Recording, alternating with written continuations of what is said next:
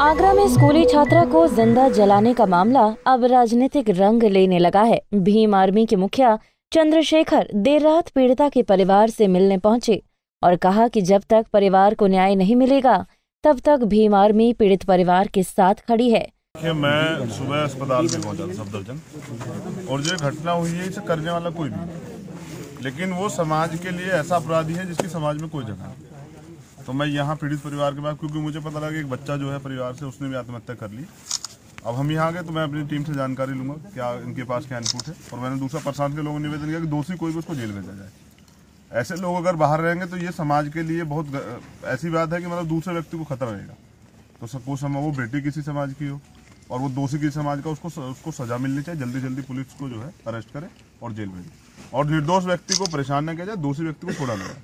उसके लिए चाहे वो सरकार के किसी व्यक्ति का व्यक्ति हो या कोई भी हो उसके लिए कोई जगह नहीं वो जेल जाए तो मेरा आने का उद्देश्य था कि पीड़ित परिवार को ये महसूस ना हो कि वो कमज़ोर है उसके पीछे उसके साथ कोई है नहीं। पूरी भीम आर्मी उसके साथ खड़ी है पूरा समाज उसके साथ खड़ा है। वहीं इस मामले पर अधिकारियों का कहना है कि पूरे प्रकरण की जाँच की जा रही है और जल्द ही आरोपियों को गिरफ़्तार कर लिया जाएगा।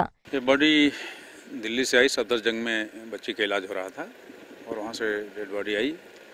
उसके बाद लगभग नौ सवा नौ बजे इसका अंतिम संस्कार हुआ है।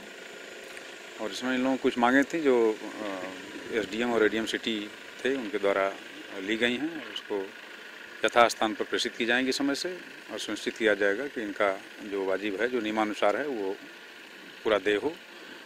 और जहाँ तक अभियुक्तों का सवाल है इसमें अतिशीघ्र इसको हम लोग बहुत जल्दी इसका पर्दाभास करके सब कुछ सामने कर देंगे।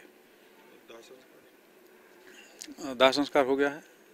नौ सौ नौ बजे के लगभग दाह संस्कार हो गया है। आपको बता दें कि छात्रा संजली को सड़क पर ही पेट्रोल डालकर जला दिया गया था। संजली को इलाज के लिए दिल्ली भर्ती कराया गया, जहाँ उसकी मौत हो गई। घटना के बाद से पुलिस मामले की जाँच कर रही है। पंजाब केसरी टीवी के लिए आगरा से ब्रिजभूषण की रिपोर्ट।